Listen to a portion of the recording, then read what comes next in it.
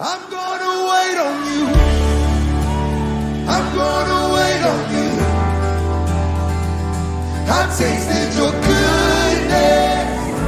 I'm trusting your promise. I'm gonna wait on you. Yes, I'm gonna wait on you. Yeah. I've tasted your goodness. I'm trusting your promise.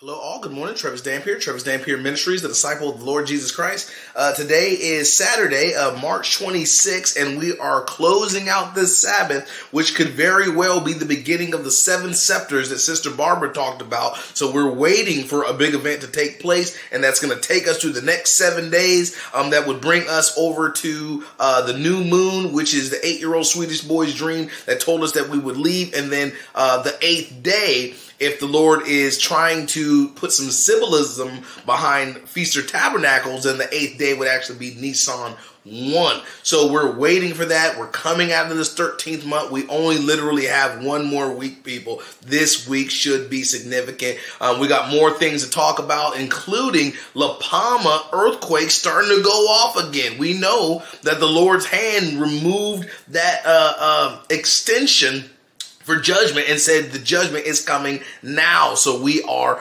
waiting. We are watching. We'll talk about it on Vimeo, way too sensitive for YouTube. So please click the Vimeo link below. Shalom. Love y'all. Jesus Christ surely loves you dearly. Click the Vimeo link below. I will see you there later.